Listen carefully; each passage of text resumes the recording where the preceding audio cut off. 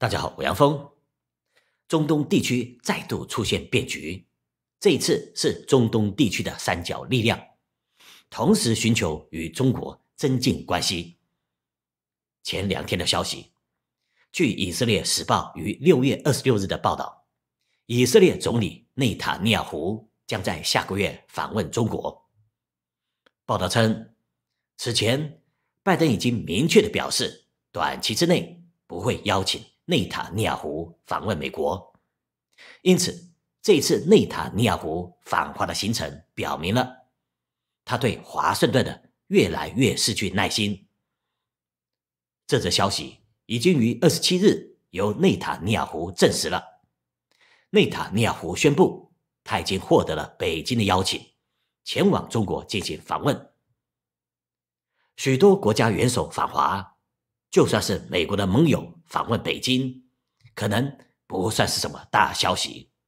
但以色列总理在这时候访华，意义大为不同。主要有两个原因：第一，以色列是美国的盟国，而且中美两国现在的气氛不好。其实。美国的盟国领袖访问中国也不是什么新鲜事。去年十一月，德国总理朔尔茨访问中国；今年四月，法国总统马克龙访问中国。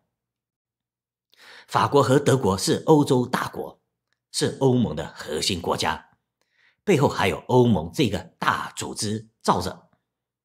所以说，欧盟也在很大程度上被美国渗透，但是。仍然是全球举足轻重的联盟。过去，德国和法国领袖也曾经访问中国，尤其是德国前总理默克尔，在其十六年的任期之内，曾经十二次访华，这是欧洲个别领袖访华的最高纪录，几乎是每一年都来中国访问。其实，内塔尼亚胡曾经三次访问中国。上一次是二零一七年，但是现在的中美关系不好。如果是法国和德国这两个欧洲大国也就罢了，但以色列是一个罪恶小国，所以说以色列的军事力量在中东地区也堪称是一个小霸王。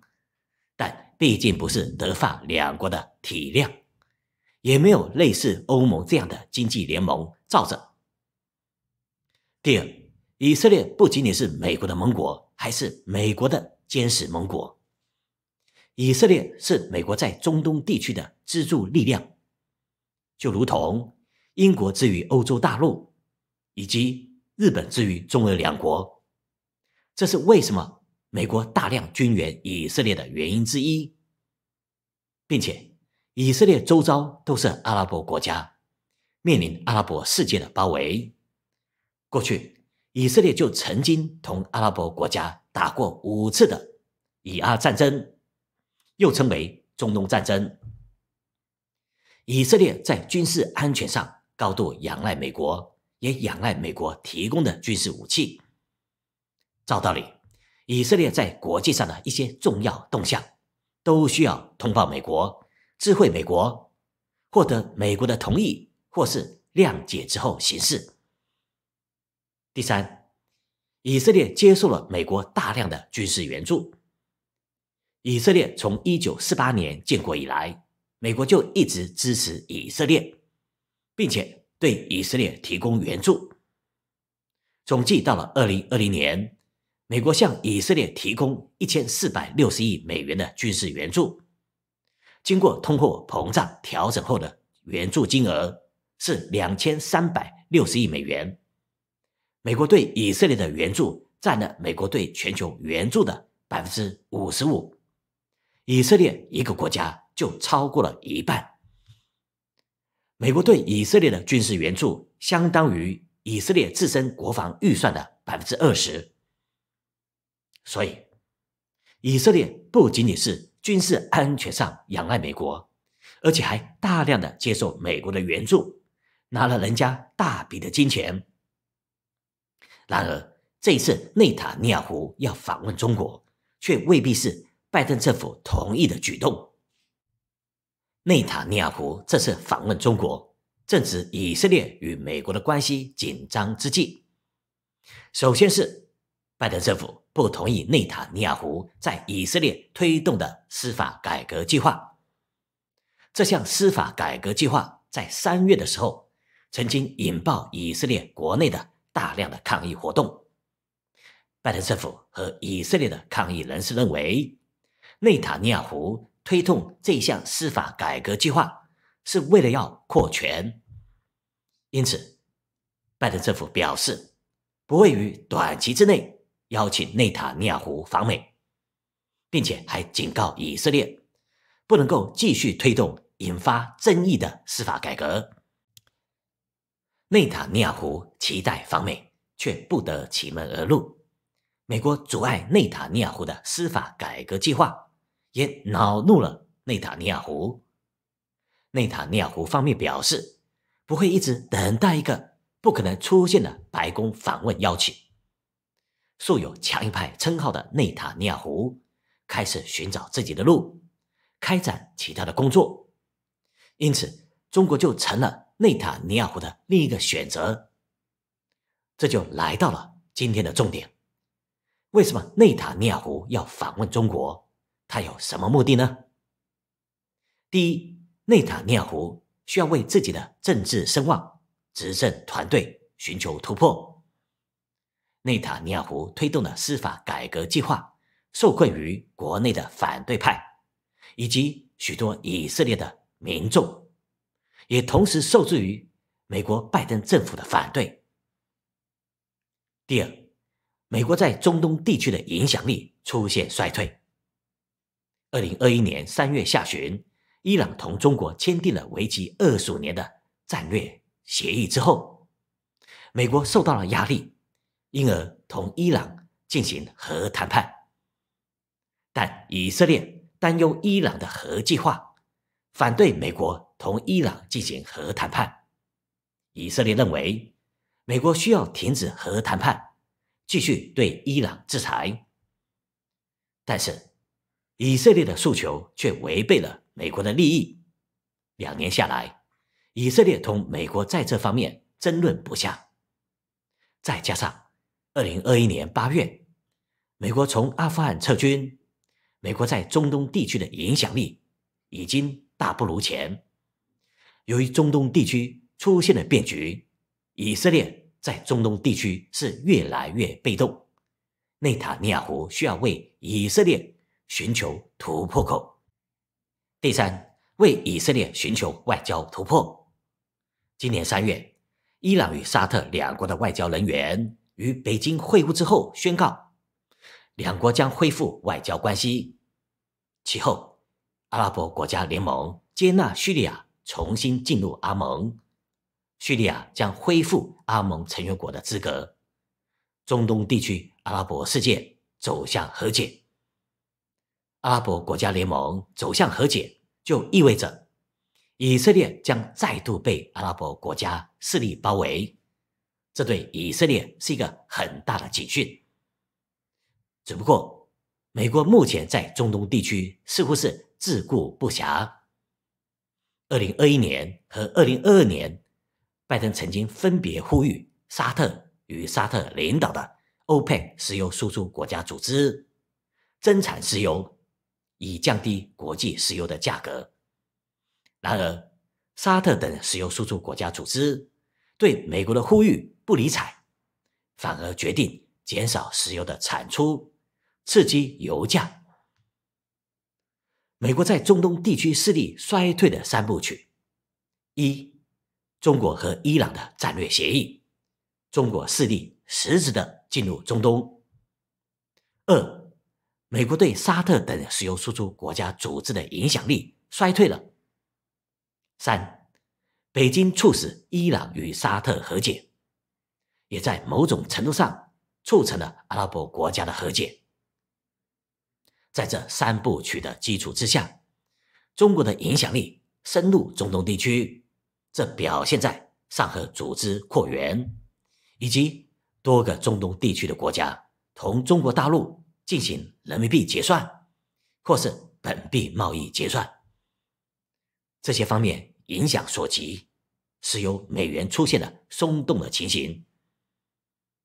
对于这些变化，以色列在中东地区可以说是深切感受。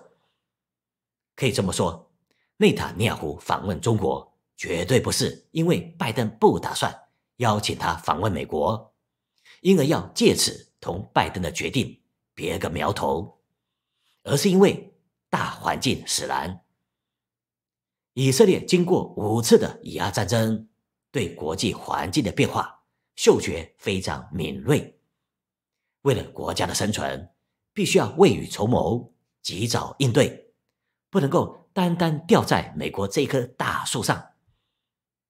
内塔尼亚胡访问中国的举动，证明了中国已经是全球第二种选择，是除美国之外的第二种选择。这一点是确定无疑。接下来的重点，内塔尼亚胡将如何寻求突破？如何进行呢？中东地区的变局起始于哪里？最简单的说法是中国势力的崛起。二次世界大战之后，英国与法国的势力逐渐从中东地区撤出，取而代之的是美国和苏联的影响力。一九九一年十二月二十六日，苏联宣布解体，从此美国在中东地区的影响力一家独大。受此影响，一直被美国压制制裁的伊朗也难以抬头，因为没有其他的势力可以介入中东地区。一直到中国的崛起，二零二一年三月，中伊两国的战略协议标志着。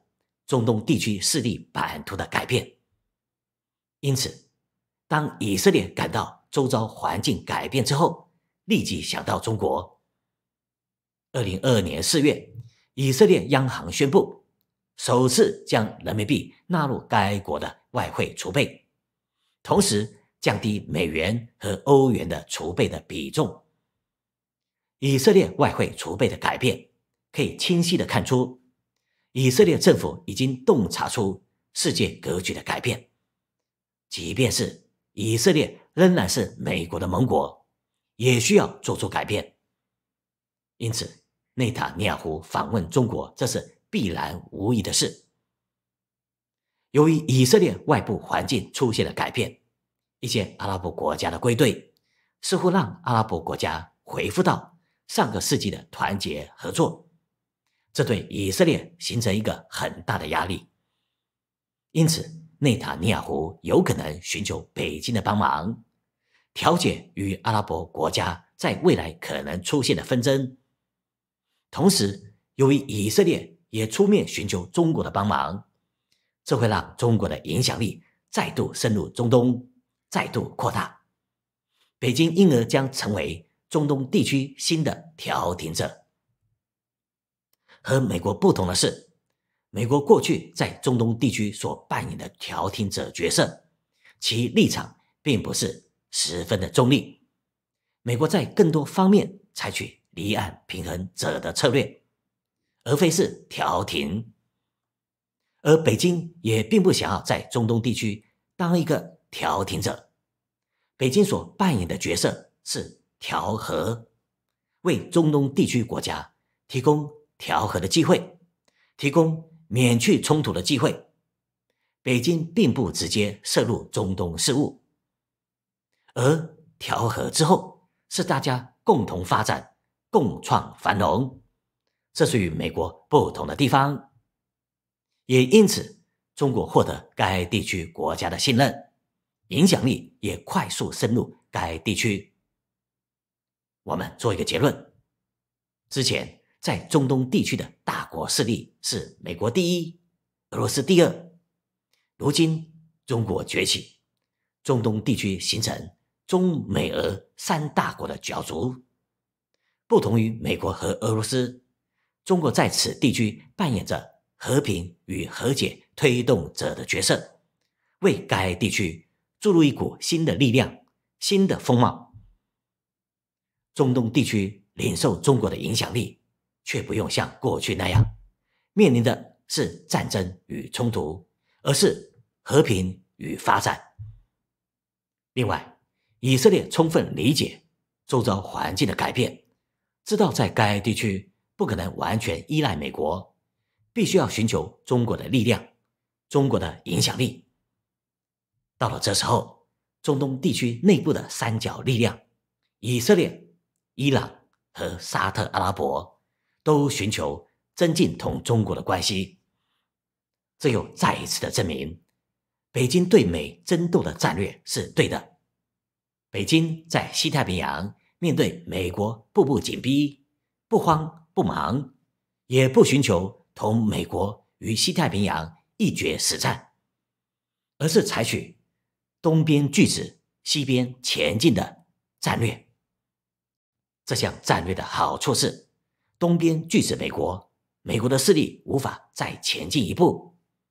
然而，北京往西边前进，却是一步步的迈出步伐。两年下来，颇有斩获。这是我们在两年多前特别指出的北京所采取的战略路线。二零二一年八月，美国从阿富汗撤军，美国的目的是想要集中资源在西太平洋对付中国。拜登政府在当时的设想甚美啊！甚有魄力和决心，对吧？那时候也有许多国际的观察家们赞赏拜登政府在这方面的规划。只可惜，规划甚好，但是终究不敌北京在战略方面的谋略。今天的分析和推理就到这里，这里是风云天下杨峰视频，谢谢各位的收看，我们下期再会。